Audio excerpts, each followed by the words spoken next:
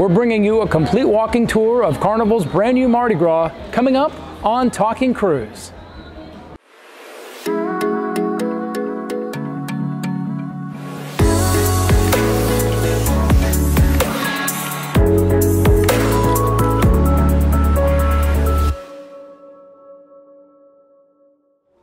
So we're going to start our tour here on deck six forward. Uh, we're going to be entering the Cloud9 Fitness Center. Uh, as you can imagine, it's a fully equipped uh, fitness center on board Mardi Gras. Uh, you've got all the latest state-of-the-art machines. Because this is the first sailing, most of these machines have probably never really been used all that much. Uh, but uh, great, great spot. You know, you've got the you got the ocean view. you're right below the life deck, so a little bit of the upper view, as you'll see here in a minute, is is a little bit obstructed, but you can definitely look down to the water below. But it, uh, it's a great space and uh, this is the time to come. It's around 8.15 uh, right now. Uh, it is a port day. We're in Nassau, Bahamas today. So uh, I think people probably got up extra early to head off the ship. If you're into free weights, they have that here for you as well. And they do offer a number of classes. there's looks like some sort of a stretching class going on in here at the moment. And then over here they do have uh, spinning classes as well, which unfortunately I have not been able to partake in. So we're here at the Cloud9 Spa on Mardi Gras, and uh, sorry, what was your name again? Nikatut, I come from all the way from Bali, Indonesia. I'm the one massage therapist on board. Nice to meet you. Nice. Okay. So uh, she'll take us on a little tour uh, around the Cloud9 Spa. Come along. All right. So the salt therapy sauna. And here, this made from the Himalayan salt. Very nice. You can stay like a 15 to 20 minutes. 20 minutes in yes. here? Yeah, this is great. I like the glow too. Yes. Very nice. And the next we have the hydro pool here. So combine the warm water with the jet mm -hmm. to relax your muscle.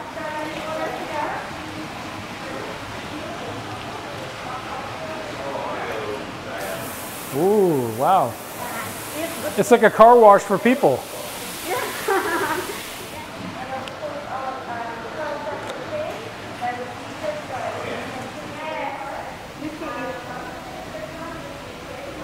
Nice. So the first one is for the cold water, and then the middle is for the milk shower, and the last one for the warm water. Yes. So we're going to continue from forward to aft here on deck number six. Just passing through the uh, elevator lobbies right now. And uh, the Carnival did a great job, I think, with the design here. Um, it's pretty consistent throughout the ship, uh, very clean and uh, bright colors throughout. So first up over here is the Punchliner Comedy Club, uh, which actually on this ship has its own fully dedicated space instead of being, uh, you know, part of like Limelight Lounge. Um, so you do have lots of shows. There's, uh, I think, two or three shows a day um, with different comedians, and they will come on and off the ship depending on the ports that uh, we're visiting here. This is a great mural that uh, you see as soon as you come down through uh, forward to aft on deck number six.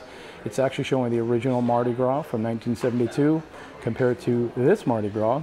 And uh, you can see quite a big size uh, difference there. Uh, it's just a beautiful picture, great photo spot. Uh, the other day they actually had a bell, commemorative bell for the new ship launch and they were taking photos in front of that. And over here is the Piano Bar 88. Uh, they've got some fantastic uh, musicians on board this ship and uh, we've got several shows in here. I think we have some of that posted already to the channel, but uh, we'll be, I'm sure, having some more. This will be our last full day and night here. So just one more chance before we get off the ship tomorrow. We're now entering into what I consider my favorite spot on board the ship. This is Grand Central. And uh, it's a hub of activity pretty much all the time. Uh, from shows to uh, special events. Uh, you've also got plenty of places to grab a drink. Like this here is Java Blue Cafe. If you need your coffee fix, this is one of the spots I recommend. And uh, something unique with uh, Mardi Gras is they have a series of like breakfast sandwiches and uh, pastries that you can enjoy in the morning along with your coffee. The pastries and sandwiches are complimentary, but you do pay for the coffee. Uh, except they do have a free option. But if you want the premium stuff or a latte or something like that, a frappe, you will pay extra for that. And then heading back here through Grand Central, you can see there's lots of seating. And the, the really great part about Grand Central is when you walk on board, you walk through this part that has the lower ceiling, and then it just opens right up to the entertainment space, which is actually three decks high. And you've seen this in lots of uh, videos already, but I'm just always in, in awe of the design in here. And I think they, they really nailed it. Uh, it seems to be one of the most popular places. Like I said, it's, it's definitely my favorite, or at least in the top uh, three or four on board this ship.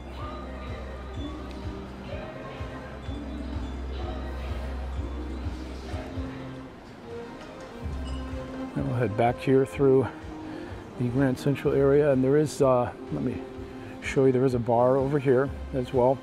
Uh, it's not open right now, but uh, it's quite busy in the evenings, especially when the shows are, are happening.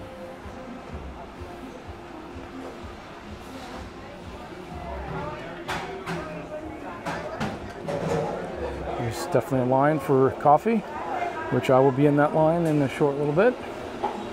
And then here, something you've seen on lots of Carnival ships is the cherry on top, uh, where they sell bulk candy and uh, gifts and toys and such. Uh, glad uh, I didn't have my two youngest kids with me because we'd probably be in there quite a bit. I'll just take another pan around to give you a look of Grand Central over here. We'll catch it on the uh, deck 7 and 8 as well uh, when we pass through. Now we're entering French Quarter. Uh, and uh, oh, if I didn't mention, the ship is set up with six different zones. The first zone was Grand Central. Uh, French Quarter is the second one here. And this is the Magnolia Bar. So you can see it's got that real nice uh, southern New Orleans touch uh, from its decor and its floral design. Looks like cityscapes throughout New Orleans. And uh, this is a great place to catch your uh, to catch your jazz in the evening. Uh, grab a cocktail, and uh, just a beautiful space. I mean, look at some of the details here. These lights uh, look like like horns. They did a really really nice job with uh, all the finishes in here and the the tin ceiling. I don't know if you can really catch that, but nice tin ceiling design. so yeah, really really nice space to be in uh, during the day or, or during the evening.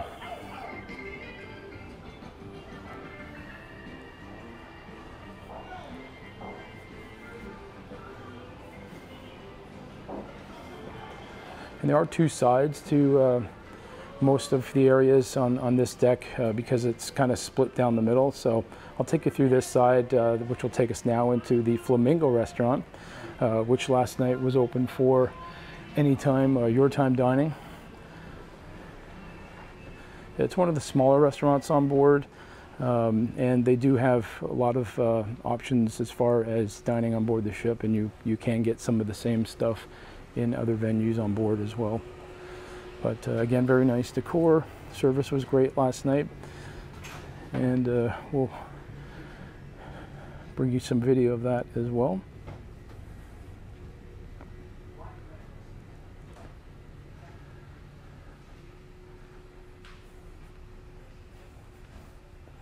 One great thing I thought they changed on board Mardi Gras is that if uh, you traditionally like to eat in the main dining room, especially on, let's say, the second day, which is the formal night, and uh, you really need to have your lobster, that uh, is actually available in some of the other venues that are open, such as ChiBang.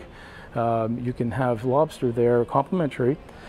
Uh, because it is uh, part of the, uh, the evening. So because they want to spread people around, they're not necessarily making you go to the main dining room to, uh, to get something like that. Now here's the Fortune, fortune Teller uh, bar. This has been a real hit with guests. Um, this space has, uh, obviously it's a bar, so they serve drinks, but they have some very interesting uh, concoctions that they have designed for this area. Uh, we're going to be here this evening, so hopefully we'll be able to bring you some close-up uh, video of that, but they have one that looks like a crystal ball and with smoke, and uh, you can just imagine it's just a very uh, sort of magical kind of uh, environment. And over here you've got some more shops, watches, and uh, cosmetics. Definitely no shortage of places to spend your money if that's what you want to do. I really like coming through uh, French Quarter on this side because you get that sensation of the height here. Um, it is open to two decks above. And uh, this little space here, which is on the opposite side of the Fortune Teller Bar, is actually um, where they have live music in the evenings. So you can sit here and enjoy some music and uh, have drinks at the bar. And I really like how these fluted columns here actually change color uh, from time to time, and it looks really, really nice. Uh, you see here we've got Emeril's Bistro, 1396. Uh, we did eat here the other night, and it was fantastic. Um, everything's kind of small, small plates, great for sharing. Um, there's a variety of different uh, types of, of options. Of course, they've got the uh, po' boys, if that's what you like, but they also have uh, like a muffaletta and jambalaya, if spice is a little more your thing. And right now it is open for breakfast time, and uh, they make a lot of different uh, great dishes, some with eggs. just pull up here, you know, you've got the banana Foster crepes, shrimp and grits, croissants, so really a little bit of everything and uh, looks looks great.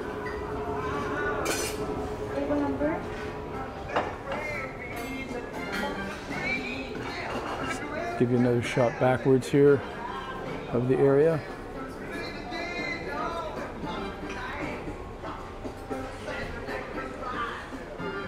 And now we're passing through the Carnival Kitchen. And this is a concept that has been brought um, from Panorama, the last ship to be launched by Carnival Cruise Line. And uh, this space you can actually cook with one of the chefs and enjoy your meal as well. Uh, they have a little communal table setting here. Uh, we didn't get to actually try this during the cruise, uh, but there are a few different uh, options you can select as far as uh, what you want to learn to cook. They have a, a, barbecue one. You can learn some barbecue techniques. You can also have cake making, and if I'm not mistaken, there's um, also one that just kind of covers like the, the general basics um, of cooking as well. And I believe it's around, think it's around $16 or so per person for that, uh, that class. And you can book that uh, through the Hub app or you can come directly here and they'll uh, set you up with a reservation. Now this is the other main dining room on board the ship and again the, the, concept of main dining room has changed a lot with Mardi Gras because of the way they've spread out and, and the new offerings they have. Uh, but uh, they are doing breakfast right now. I'll just try to uh, give you a little a little look in here.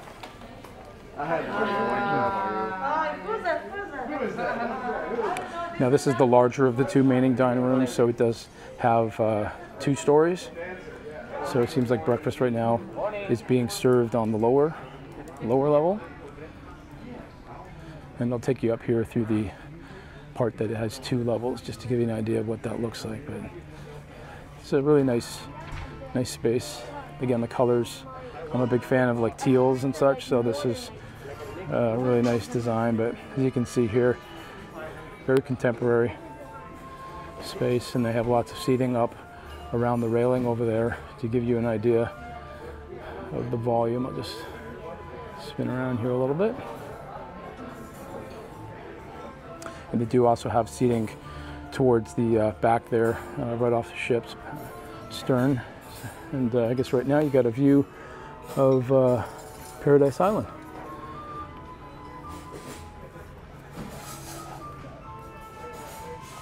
So we're going to move past the conference center here, which is uh, also located near the Palm Restaurant. And I have this set of stairs. We'll just go up here to deck number seven, and then we'll walk you through deck seven as well.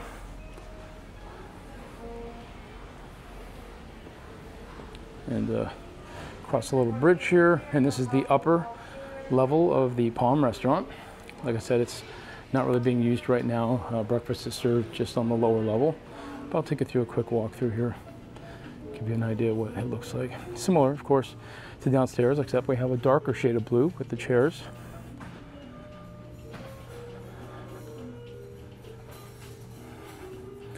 I'll give you a shot again of that open space, give you an idea what that looks like. From up here.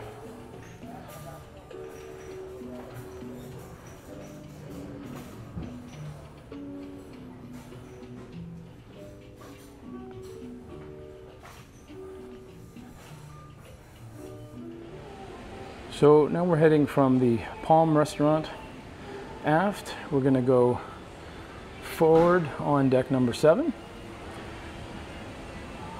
And I'll show you the upper mezzanine area of the French Quarter. Uh, but first we'll make a stop over here. And this is Fahrenheit 555 Steakhouse. Uh, this is actually a great value. Cost uh, $35 per person. And uh, they really have a great menu of, of food I've always really enjoyed all of my times at uh, Fahrenheit 555, but there's an idea of the menu if you can sort of see that a little bit.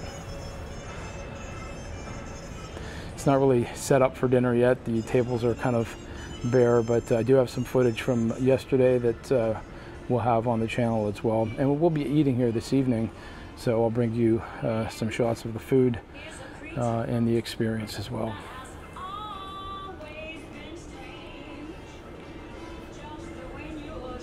Great wine wall over here for you connoisseurs out there. And again, you can see the little touches uh, that really kind of elevate this from other Carnival ships that you may have been on. Uh, like this chandelier right here is uh, open to the three decks. It's just uh, really, really nice uh, design.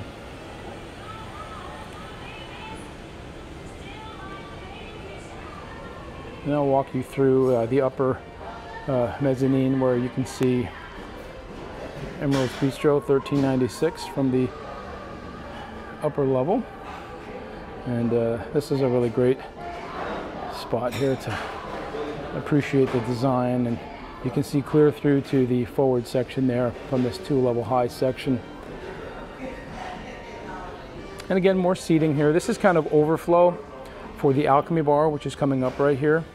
Uh, the Alchemy Bar, again, it's been a very, very popular spot in recent years. Uh, they've been adding it to ships during dry docks, and they've also, uh, of course, it's been on every new ship.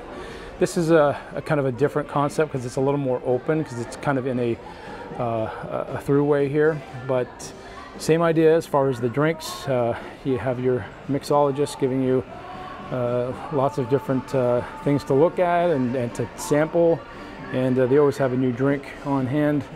And uh, one of the touches that I like here are these uh, blocks right below the bar where they show you these these different uh, elements and such. Uh, I think that's really really nice little touch. The, the, designers, we actually had a chance to speak with uh, the designers of the ship, and they really it was a labor of love. You can tell they really tried to put as much as they could into uh, the design. There were challenges, definitely, especially it being a brand new ship, um, but uh, they are very pleased with the uh, with the outcome. And uh, frankly, I, I am too. I, I think Carnival uh, has kind of really hit a home run with this ship. Uh, I haven't really gotten too much into that in my videos, but you know, you've got to give uh, a little bit of allowance for a brand new ship launch. There's always going to be few hiccups, uh, but the hiccups that we have seen have been minor and uh, not anything that they can't overcome with time and a little more tweaking. And I'm sure that'll be coming in the weeks and months to come. And over here, we're just entering the Limelight Lounge. So as I said before, this kind of space would be shared normally with, um, you know, multi-use. It would have uh, comedy and variety shows. They've uh, did karaoke in here the other night as well. But uh, because of the size of the ship, they can have so many dedicated spaces.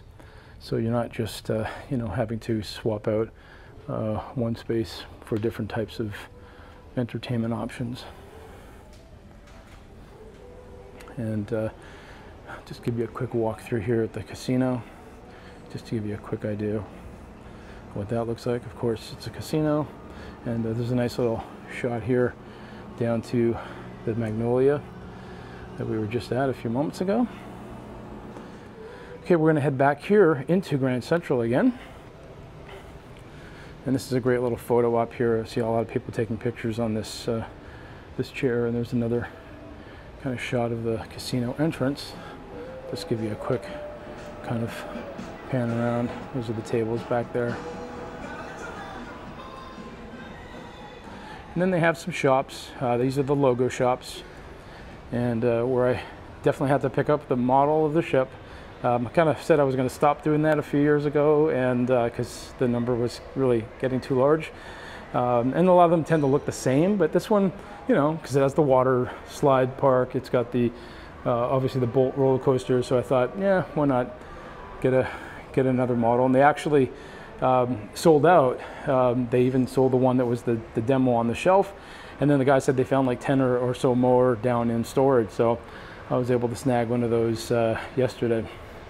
So if that's important to you, come early on on your cruise uh, and hopefully you'll be able to, to get one as well.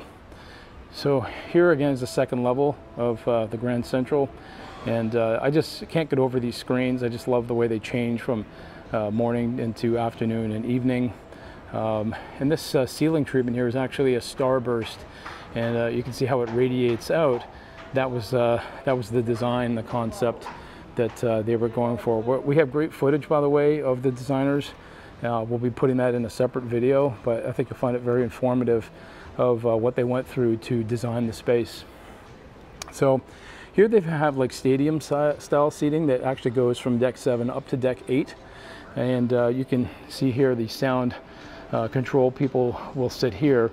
Uh, so we're just going to cut through back here. Otherwise we have to walk through the casino to get to the other side.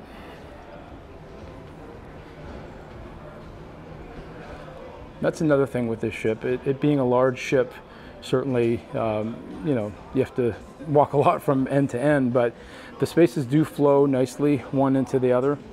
And this here is uh, more seating, kind of raised platform and it, it, cantilevers out and I remember the designers were telling us about the challenges they had when making this space. I think originally um, they said that they had to, the engineers were saying they had to put wires uh, to suspend this and actually support it, uh, but they were able to do away with that. It just makes the sight lines, it just makes the whole thing much more clean looking as well. And over here we have the Grand View bar, which as you can see, if you're sitting here, you do have a grand view of, of the stage area. These glass panels behind the grand view bar are meant to reflect flowing water. Uh, if you can kind of see that there, uh, that was a design element that they had put into uh, the ship. We're going to head into the casino now. Um, this is actually a cut through that'll take us to the forward section. And as you can see here to the right, you have the uh, tables. And uh, there are so many new types of uh, slot machines available. These electronic machines are really state of the art. Um, here we have the casino bar. And uh, this area is generally uh, smoking uh, while the casino is open. And more machines, really there's thousands of machines in here. So whatever you're, you're interested in, I'm sure you'll find it here um, at the Mardi Gras Casino.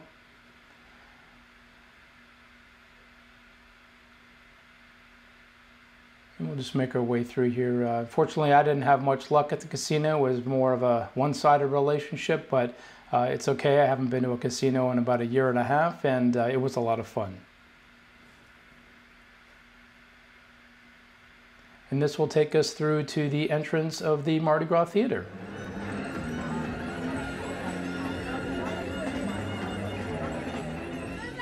So here we are on deck 8 forward and we're going to be just showing you a little bit of the Havana area uh, on the inside. Uh, we do have video from the exterior that we shot the other day as well as some of the rooms but this is the Havana bar and as you can see here to get out to the Havana pool and bar area you do need to have the Havana Experience wristband We're here at the Havana Bar and Pool area on board Mardi Gras, and this is a private space for those that have booked one of the Havana level accommodations. Uh, they range from interior all the way through some beautiful suites, and as you can see, it definitely has a tropical vibe here. Um, over here in the seating, all the nice rattan furniture, and uh, it's just a great place for uh, people that are in the Havana rooms to just chill and relax and, and enjoy, uh, as you can see, lots of amazing views from uh, these chairs that are out here. And another great feature of the Havana area is that it does have its own private pool. It's more of a plunge pool, you know, not going to be swimming laps in here, but uh, if you come up here, you can see that once this is actually filled, you will have an incredible view through the glass uh, uh, wall here. So just incredible. It's a bit of a different vantage than they've had on the Vista class ships. Uh, maybe actually a little bit smaller in the sense of the pool and the uh, area right here, but uh, equally as nice and, and, just beautiful, beautiful space. Here's the Havana bar that uh, again is just for guests that are staying in the Havana suites or staterooms. Uh, just an interesting note, uh, the outdoor area is private, but any guest on board the ship can use the inside uh, part of the Havana bar. It's just the outside pool uh, area that uh, is private. But uh, this is a great tropical spot. They have a fantastic band here that's just been playing some incredible music. they take requests if that's important to you. And it looks like you're either getting set up for a private function here or this might actually be a little bit of a breakfast option.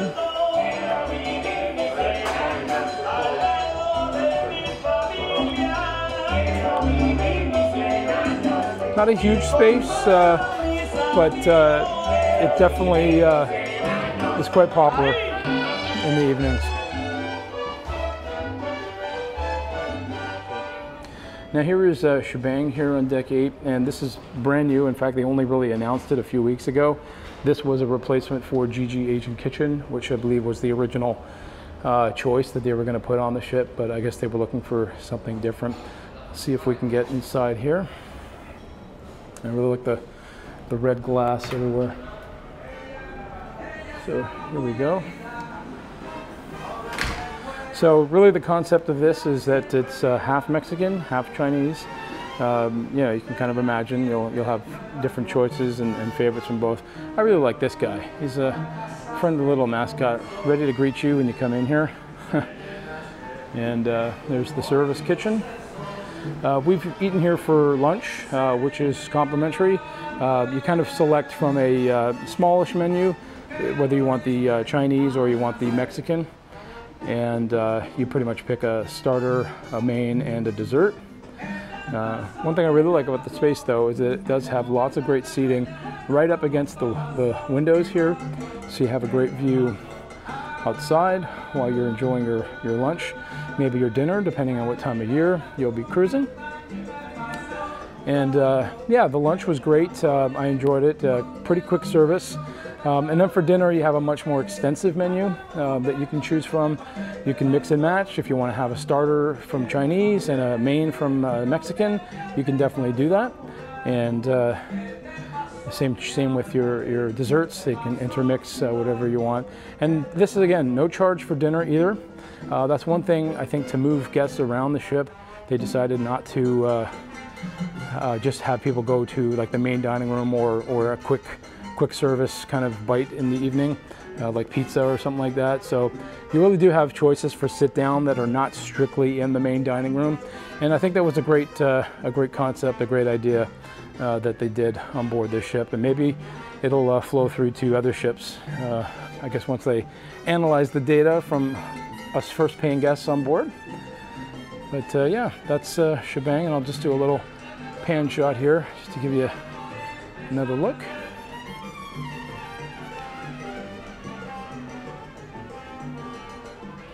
Okay, we're passing once again through Grand Central. Now on deck eight, this is the most upper level. Here we have the Dream Studio.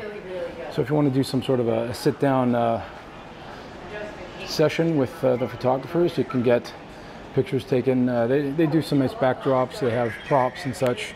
Uh, great for families, I would think. And uh, again, here's the view of the atrium from the third and top level deck 8, but the top level of the Grand Central Atrium. And then they have this bridge over here. Quite a few bridges actually on board passing through the spaces. And there's the Grand View bar from the top. There's that running water. But yeah, I, I really I can't say enough just how much I really love this uh, this space here. Now from here you can actually pass down uh, with a quick access back down to the casino through these stairs over here. There's a couple of these on board. Oh, the lights just changed there. And uh, as there is on other decks, plenty of seating around the atrium. And then we're having uh, two of the bonsai options here. We've got the teppanyaki, which we had a great time at the other evening. And uh, we have over here sushi, which we had yesterday for lunch. And this looks similar to ones you've seen on other ships, um, Vista class, as well as like Sunrise that they've ships they've been refurbishing recently. But has great, uh, again, ocean views, kind of like uh, ChiBang. And uh, then they've got this little section here with these booths that actually look into, or if you're in the teppanyaki, looking out to this area, um, sort of connecting the spaces, but still keeping them a little bit separate. And uh, as I said earlier, uh, you really get great value um, either at the teppanyaki. I believe teppanyaki was $38 per person, and um, the sushi we had the uh, the ship for two, which was uh, $22. So really great, uh, you know, value. You get a lot of food, and uh, it's very good food, and great service, and a great show.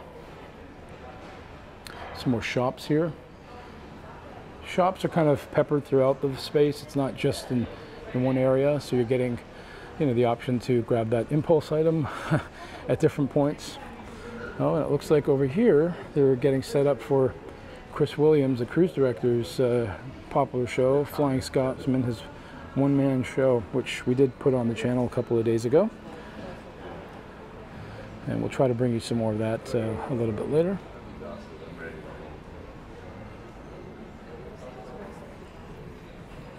Now we'll keep heading aft here on deck number eight. And the first part that we see here is the pixels. A very large pixels and uh, a great thing is that, uh, that they've been doing on recent ships is that they have these self-service kiosks where you can swipe your cards and actually um, select the photos you want and then have them printed out. Or if you want to order some uh, specialty prints or uh, souvenir items or whatever you can do through there as well. They do also have camera equipment and accessories which are closed up right now because we're in port. Um, if you need batteries or uh, you know SD cards or anything like that. Okay, we're entering uh, another zone here. This is La Piazza. And uh, as you might imagine, this is the French area of the ship. No, just kidding. This is the Italian-inspired area. And uh, they've always had, you know, a pizzeria on board the ship, but they've really taken that and, and run with it. Uh, for example, here you have Bar della Rosa, which gives you a, uh, a, nice view inside and out, and they have specialty coffees here and to serve cocktails um, as well, pretty much during the day, evening, throughout most of the day. Uh, there's this little area here that kind of looks like al fresco dining, but it's actually still inside. And uh, I just love this, this Fiat here. This is a 1972 Fiat, uh, we understand, and they had apparently a great time bringing this on board the ship. Um, it was brought in through crane and they crated it and dropped it on the back of uh, deck number eight and they actually rolled it uh, through this area over here and uh, put it in its final spot. They said they had a great time uh, when that when that happened. I said it would be a great ride option maybe to have people have a simulator running through here on a Fiat. Anyway, maybe not on another ship. So here we have the pizzeria, and uh, even though it's 9 o'clock in the morning, they're still serving it up. It's, it is a 24-hour option here. And I think they, this time of the day, they kind of make them to order, so they're not just sitting around. And you have a few different options. There's the margarita, the mushroom, pepperoni, four cheese, and prosciutto. And there's more seating over here, overlooking the, uh, the water. Now the outside area there, that is uh, a smoking section, just so you know, um, if you're looking to sit outside right over there. Um, now here is a brand new option that they added. This is Piazza Panini. And as you can imagine, they serve sandwiches here and uh, toasted sandwiches. There's, there's 12 options. I've made my way through two of them, but uh, each of them seems to be uh, quite popular because uh, this line can get quite long during the day. This is normally filled with bread here, which you might have seen in another video, but currently in port, it is not open. And then here's a 1972 Vespa, which we also showed you in the earlier video as well. And here's that atrium area that we were in earlier uh, down on deck six, uh, just to show you another view from the upper part. And making our way through deck eight, this is uh, Rudi's Seagrill. Uh, Chef Rudi Sodamin's uh, seafood restaurant, and we did eat here on the first evening. It was fantastic. Uh, Chef Rudi himself came out and just checked in on us, which was a nice, nice touch. Uh, he's a great guy. I've met him for many, many years uh, on different Holland America ships, but this is the first time he's had a concept on board Carnival Cruise Line. So, great option. again, reasonably priced. I believe it was $38 again, and uh, lots of different choices uh, fresh seafood, lobster, um, you name it. Just really, really great. And we're continuing to work our way aft. This is Carnival Adventures. Uh, so if you need to book a shore excursion, this is your place. They even have some shop items you can buy if you need, uh, you know, a hat or a water wallet or something like that last minute. Uh, sunscreen, this is the place to, uh, to get that from.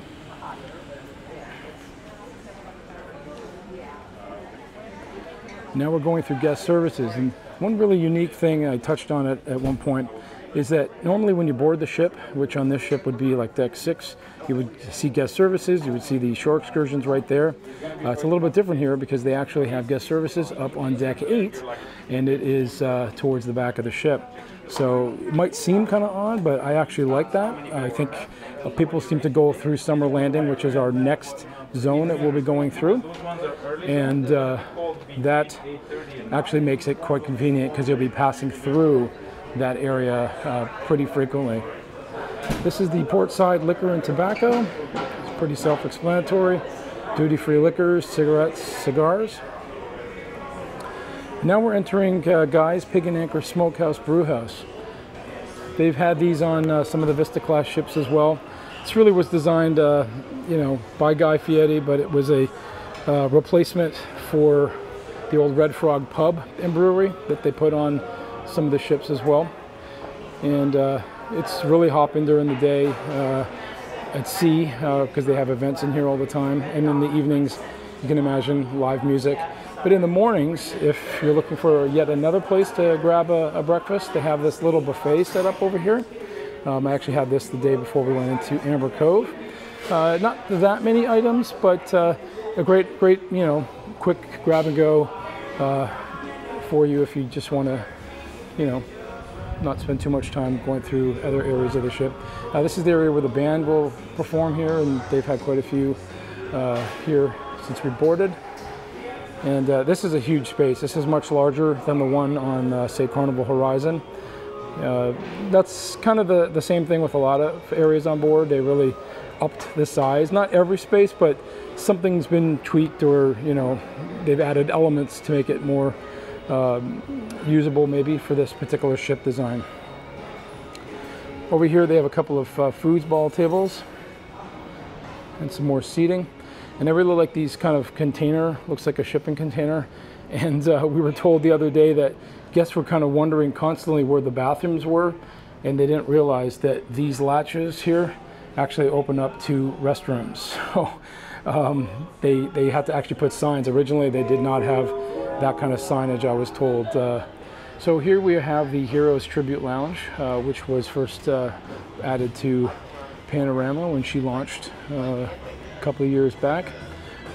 One thing I thought was really cool is they have this military truck that's actually a dispenser for the soft serve um, that anybody has access to. It's really the space was designed for uh, veterans to gather um, or active duty and uh, you know just kind of chill out uh, but uh, it is welcome to families and you know certainly anybody can partake in the uh, the ice cream here as well Now this uh, section, as I think I said earlier, this is called Summer Landing. This is another one of the zones on board. And uh, the outside area is called the patio. We're just going to go check that out right now. And uh, this is pretty common on board the ship where you have a lot of spaces that open from one area to the next. Uh, the flow is, is actually very good. They've got these little display cases here, which is kind of cool. We'll just head out here to this infinity pool. So this is aft on deck 8. Um, technically part of summer landing, but this area is known as the patio. But this is this is really the spot to be. Um, does get quite crowded, I would say, on the sea days, but uh, today, as you can see, with Paradise Island in the back, not too many takers right now. And they've got these a few of these, not many, I think like five or six of these uh, in-water loungers, which is uh, a nice touch, gives you that resort feel. You can kind of see too that uh, even the seating in, in, some of these more specialized areas um, is a little upgraded. Uh, you know, really, really nice furnishings and uh, places to lounge. But of course, this is a brand new ship, so everything looks great. Uh, just give you a walk through here. Uh, even though there is the buffet uh, for the breakfast that they have in the Guy's Pig and Anchor Smokehouse Brewhouse, they do also have the Guy's Pig and Anchor Barbecue, which is available on sea days. Uh, this has been added to a lot of the ships recently. Uh, originally started as Fat Jimmy's, if you remember that, um, but uh, now it's uh, branded with Guy Fieri and it's not open right now. Might open later on today as we're sailing away. There's a look at the menu. Um, but like I said earlier, this has really been uh, expanded from other ships that offer this. There's plenty of seating over here, and there's the other side of those uh, shipping containers that I was mentioning earlier. A lot of construction going on right now. They're building a brand new terminal here in Nassau. Uh, in fact, there is no terminal currently, as you can see. Um, but yeah, it's quite a busy port. Uh, I'm sure this is long, long overdue, uh, but it's going to take quite a while. I'm going to give you a shot of uh, the new categories that they've added to Mardi Gras.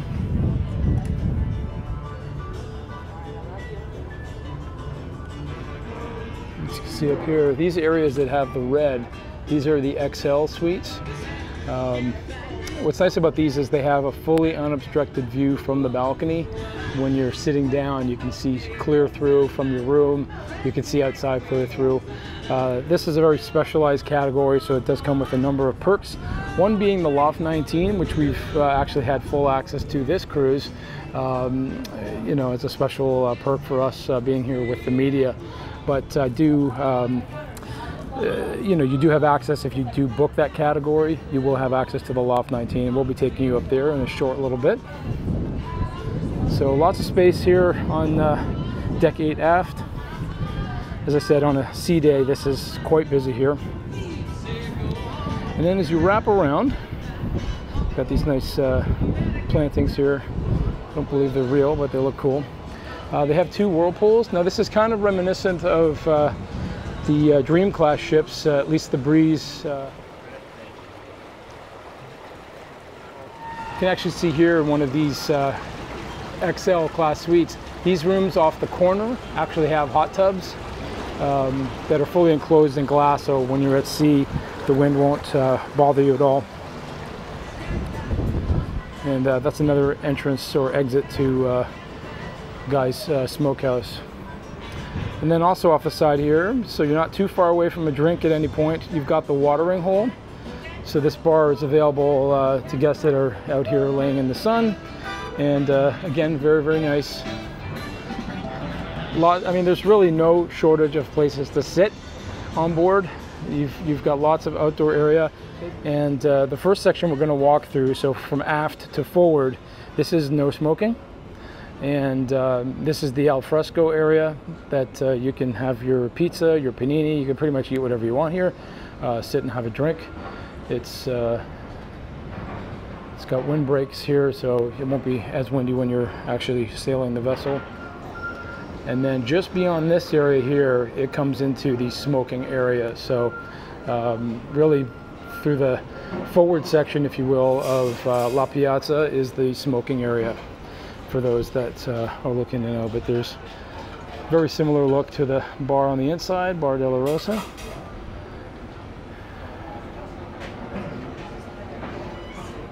Okay. And we'll work our way back into the piazza.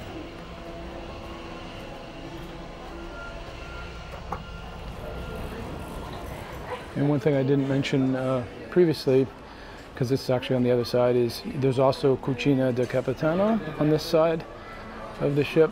Uh, we did eat here on the second night, I believe. And again, this is an option for main dining. So if you are, uh, you know, on any time uh, dining, you can actually come here or your time dining. I keep mixing them up. Morning. Just give you a little look into here.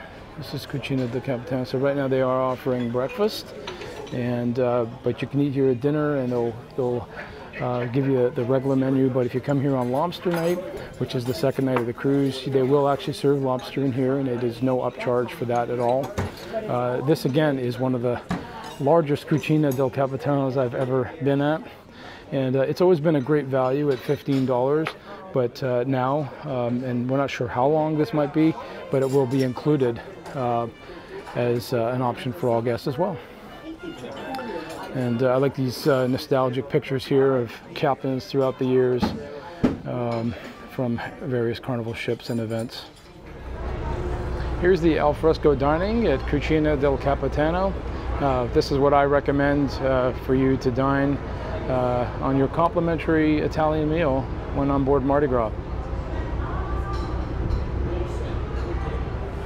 Welcome to the Lido here on board Mardi Gras. This is deck 16, obviously the Lido deck, and this is also considered one of the zones on board, the Lido zone. And here to the left we have the seafood shack where you can get lots of different market fresh uh, items every day and you can see the pricing there. It's pretty reasonable uh, on a per item basis. They also have uh, this place which is seems to be very popular with people, the fries, Steam Dream that has uh, different options every day. Today is the beef and tofu, and then the Mad Sizzle is going to have a kebab. There's uh, plenty of seating on Lido deck uh, if you're looking to dine outside here. And uh, it's in the shade, which is fantastic. Take a little walk around the Lido pool here. For a ship this size, you might think that this Lido pool is not that large, but there are two other pools on board, so this is actually uh, good enough for, for this area, and people have other choices if they want, including the two aft pools, uh, which are fantastic on board.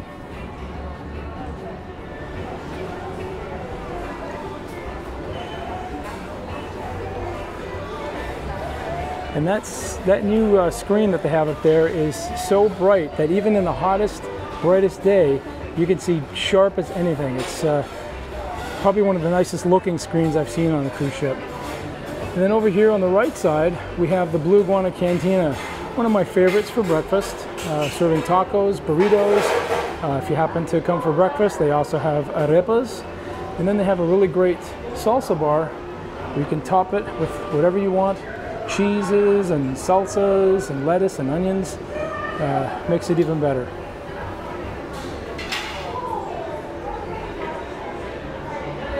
And heading back on the other side, where again there's tons more seating with ocean views.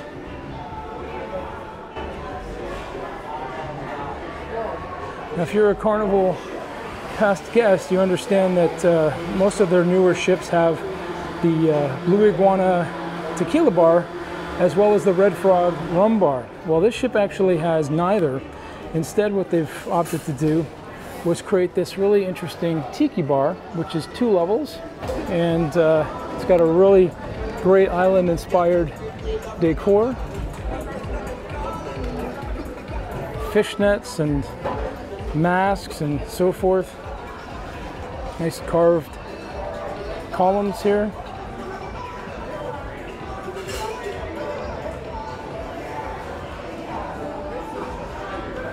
Time we're going to cut through the Lido Marketplace and head over to the back part of the ship. At all the main entrances to the Lido Marketplace, you have these great hand washing stations. Uh, get out there, guys, and washy washy. They have some nice new stations uh, designs here for each, each of the different types of foods. Here's you got the Sea Dogs. That's kind of a homage to the old uh, Sea Dogs. They used to be out uh, near the uh, kids' play area. You know, gelato, and uh, even a shawarma station over here. That's pretty cool.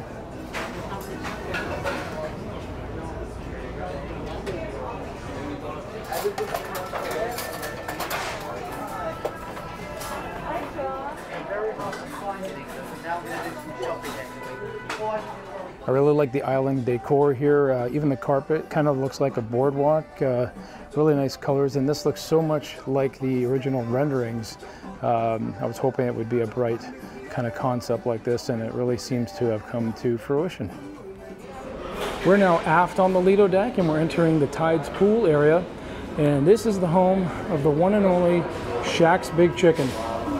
And as I've said in my previous videos, this is one of my favorite spots. In fact, I will say this is probably my favorite new dining spot on board uh, the ship. Uh, it's just great. I have I've had the breakfast items, I've had the lunch items, and uh, nothing has disappointed. Hope to see this make its way onto more Carnival ships, and it definitely will be coming to uh, Carnival Radiance uh, once it finishes her transformation, and uh, we can only hope for other ships in the fleet. Here's the uh, aft uh, Tides bar.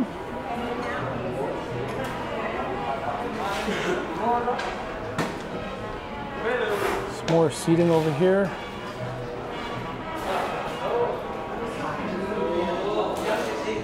And uh, right near the Tides bar, you've got swirls to get your ice cream fix on. Definitely go for it.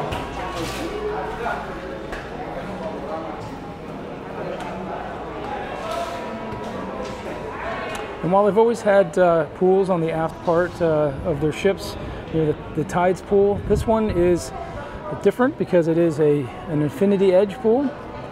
Uh, we're just here in Nassau today, and you can see the Paradise Atlantis over there, Paradise Island.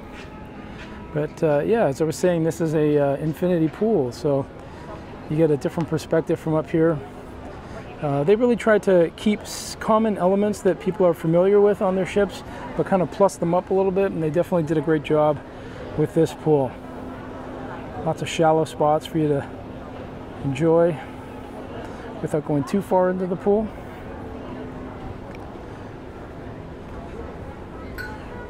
Really great uh, shower here that anybody can roll in pretty easily. Just walk around a little bit to the other side. And there are two very, very large whirlpools flanking the Tides pool. Uh, would have been nice if there was a little bit of shade on them, but uh, it's okay.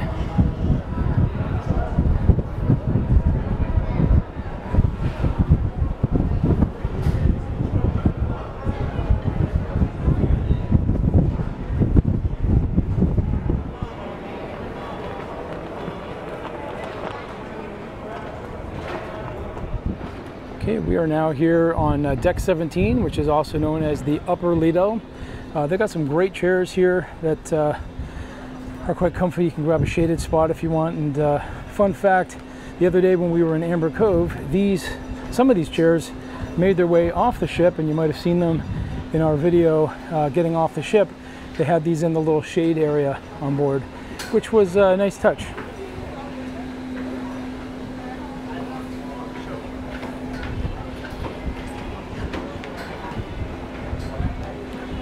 And of course, when you're up here, you have a great view of the tides pool below, and I'll give you another shot from up here.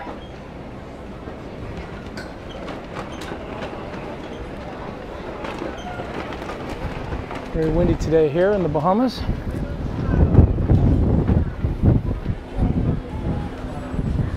All right, so let's make our way around the deck here. So here on the aft uh, upper Lido, deck 17, on the uh, starboard side, you do have the smoking area. Uh, there's not a lot of smoking areas on the ship, but this is uh, one of them. I'm going to make our way around, still on deck 17, but make our way around the port side. And as you can see, more, more seating.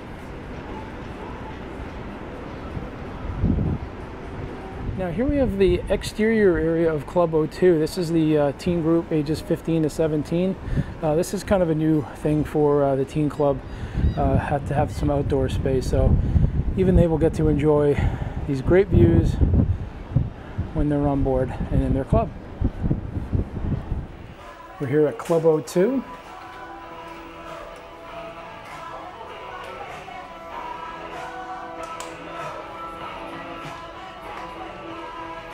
Plenty of TVs, game systems, lots of great stuff for the kids.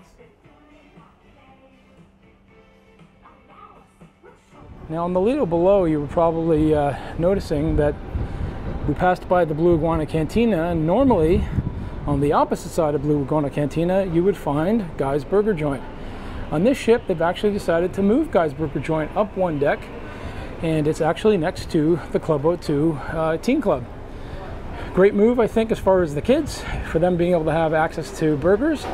But uh, just in case you're wondering where it is, it is on board, and it is bigger than ever. And as you can see from this line, at uh, 1207, it is as popular as ever. We have a lot of uh, seating right by the water here. These uh, sort of picnic tables still have the great toppings bar. And lots of seating out of the sun as well.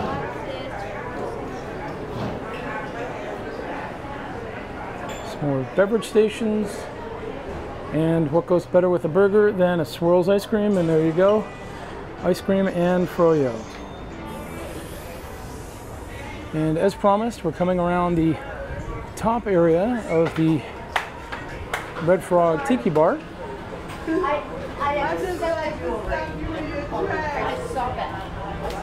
And uh, similar to the one downstairs. How you doing? Excellent. Hi, Maria. I saw the video. Oh, I love it. all right. Good stuff.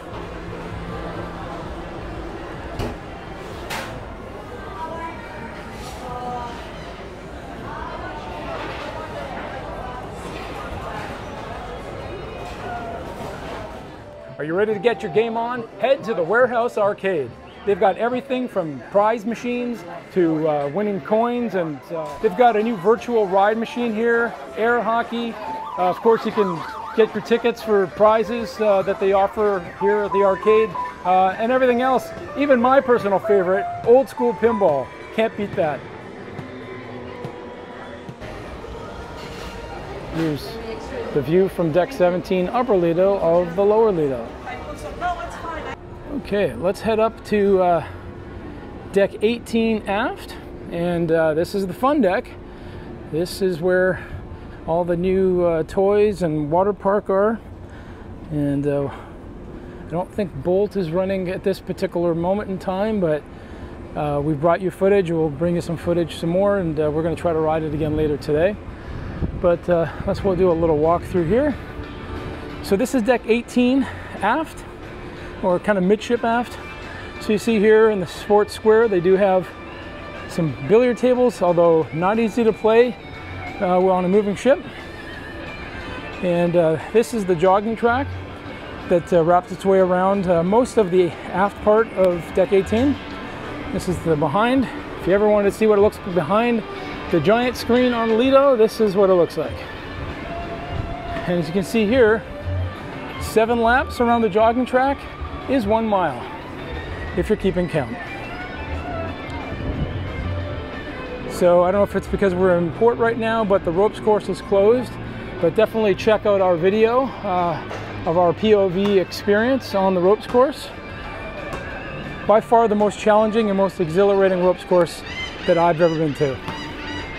And here is the basketball, full court basketball. And a nice little touch they added here were these like stadium seats. So if family doesn't necessarily want to play, but they want to watch you, they can definitely do that here. And as you see, the ropes course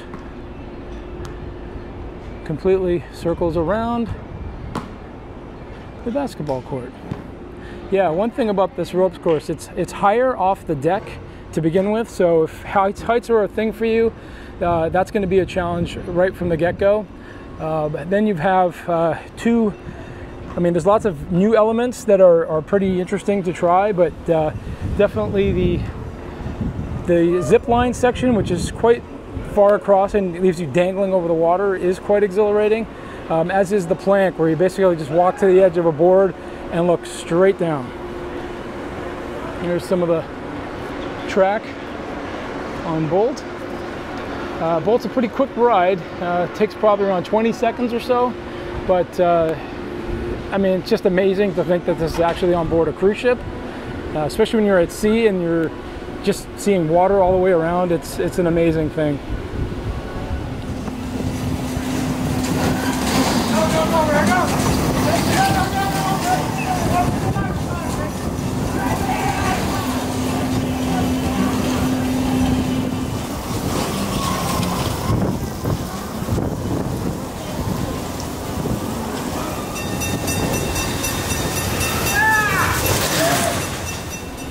And we're heading towards the aft section here into the waterworks. Always loved Carnival Waterworks on board every ship. Um, whether I have my kids with me or not, I'm always up for a good water slide. And on this ship, it definitely does not disappoint. So in addition to the yellow twister, which Carnival has on pretty much all of their, their ships these days, uh, you also have the uh, orange thunder, which is like a drop slide. So again, we have video of that. Get in and hold on and the floor drops from beneath you. And then there's Blue Lightning, which is a uh, head-first mat racer. We use these black mat, these blue mats over here. And uh, that's also a real, real wild ride. Uh, and watch out for the water up your nose at the end of that one.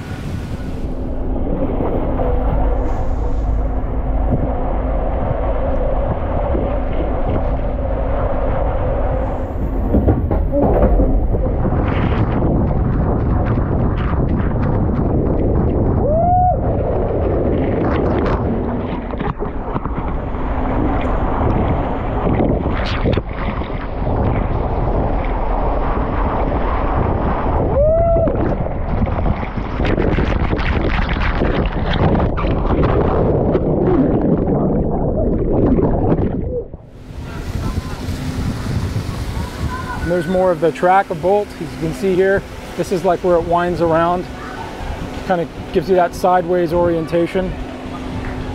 And then here's uh, mini golf, and I think they really stepped up the mini golf as well on board.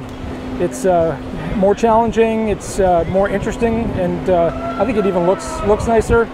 Uh, I know some of the ships have the two level, like on Carnival Breeze, but um, I really like it being on one level. It's uh, actually works a lot better.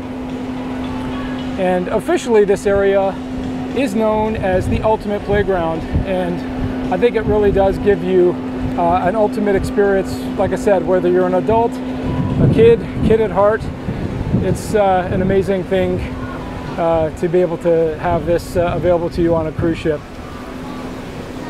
There's a little bit more of the water park, and then of course they have the splash area for the younger kids with a couple of slides, some little areas to play, and lots of spray fountains and nozzles. And of course, my favorite, the big power drencher, which is getting ready to dump right now. If I hear the bell, it's coming. It's, and there she goes. Yeah. Another shot of the twisty water slides.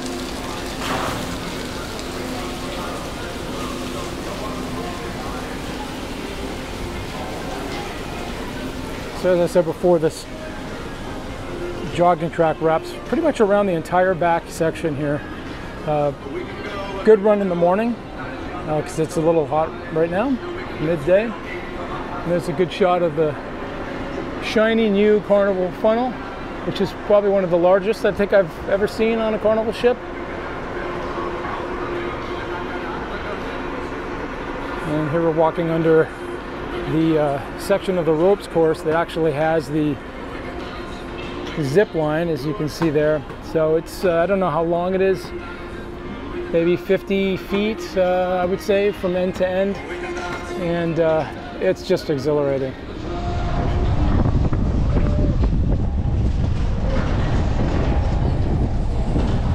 Something a lot of people always ask me is how tall do you have to be or how much do you have to weigh? Well, here's the ropes course, 48 inches tall, is the minimum. And uh, try to give you a shot of the other rules and regulations here. So 300 pounds is the maximum and 48 inches is the minimum of the Lido pool deck area here.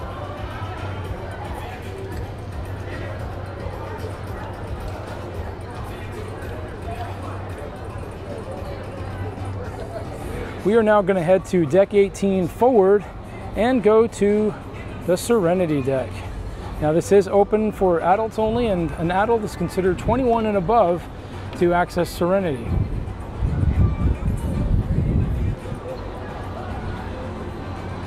This forward section here though, anybody can actually come here. Uh, there's a, a, door, sort of an entrance to Serenity and you'll know when you're there. Um, these, what look like funnels here on the forward part of the ship. Uh, we did the uh, tour the other day with the environmental um, executive from Carnival, and they explained that these are actually uh, the vents for the new LNG system on board the ship. And uh, they, these these are kind of just covering so that you know you don't see all the pipes and such that are going uh, through. But uh, as we've mentioned before, LNG is extremely clean burning. In fact, you'll never see smoke dark smoke clouds coming out of the funnel on board an LNG ship. If you're ready for a little serenity, let's head on in.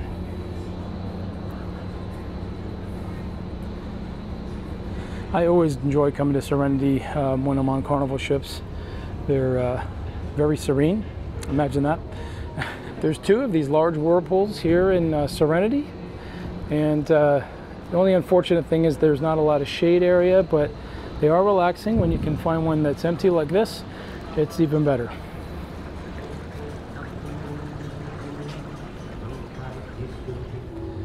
Uh, lots of sun loungers.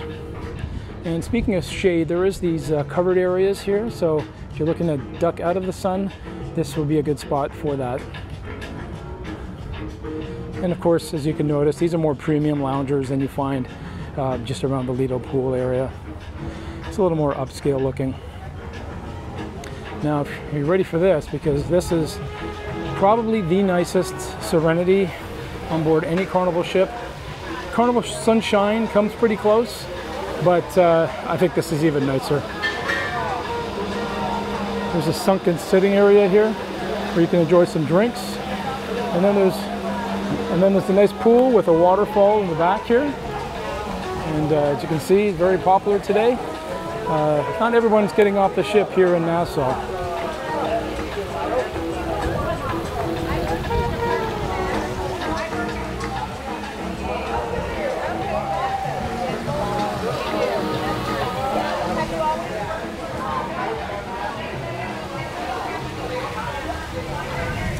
And up here on Serenity, not open right now, but they do have the Fresh Creations salad your way and they'll make salads for you with fresh proteins and, and greens and toppings.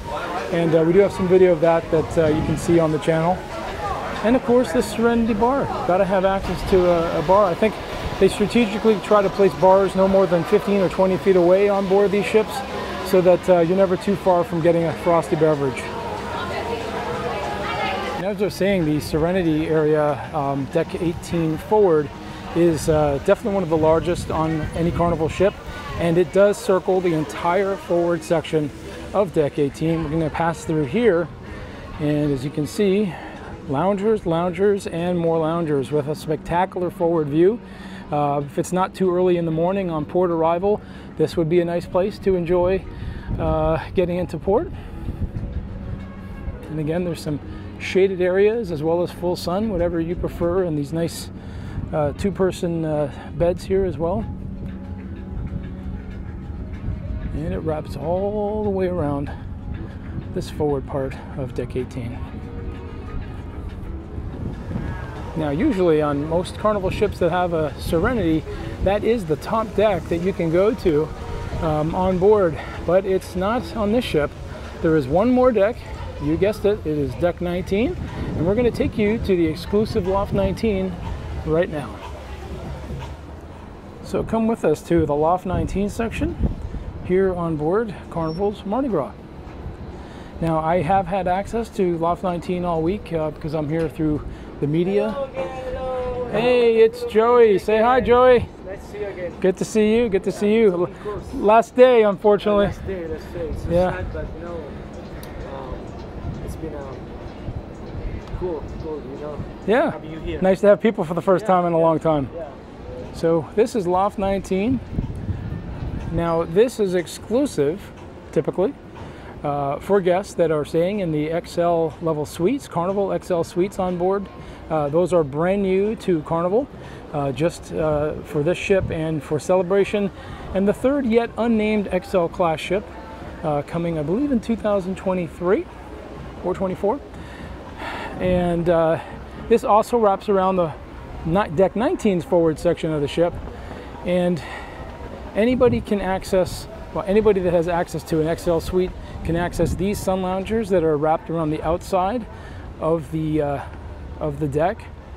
So Loft 19 is a great uh, feature and perk for those that do enjoy higher level accommodations like the XL class uh, suites on board.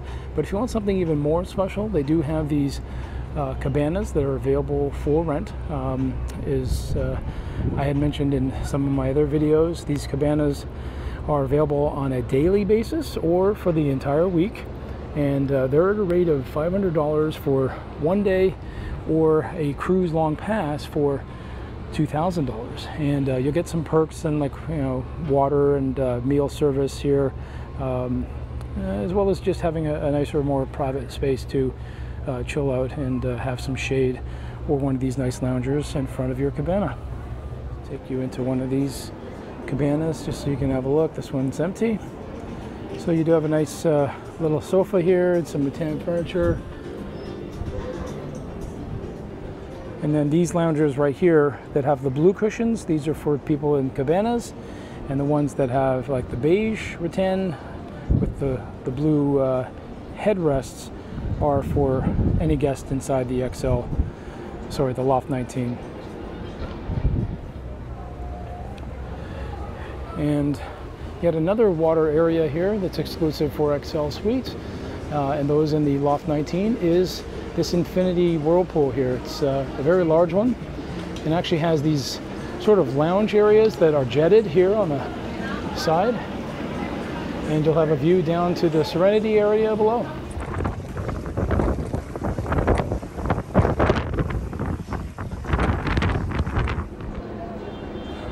So that's the Loft 19 area. Uh, there's just this one last spot up here It has some faux palm trees, but it gives you that tropics no matter where you are. And uh, we hope you enjoyed this this tour. Thanks for coming along on this complete walking tour of Carnival's brand new Mardi Gras. Don't forget to like this video, post your comments and questions, and subscribe for more Talking Cruise.